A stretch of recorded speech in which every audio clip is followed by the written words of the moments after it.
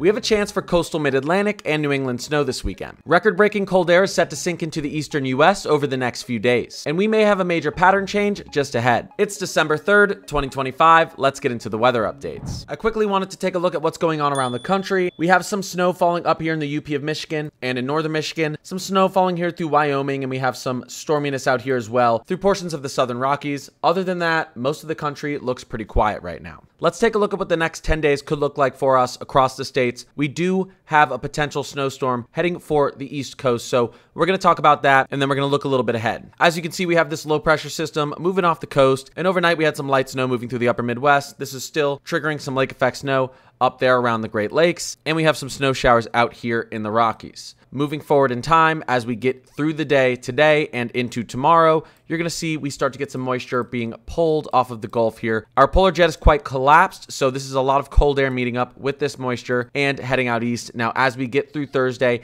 and into Friday, the 00Z Euro last night still thinks we're going to have some snow up here, potentially for the mid Atlantic coast and the New England coast. I said this a couple days ago. I think I said it yesterday as well. It's going to be cold enough up here for snow. So, I, you know, someone's going to get ice, someone's going to get mixing, but I'm still pretty confident, again, if we can get that moisture on the north end of this storm, that we're going to have snow falling in these cities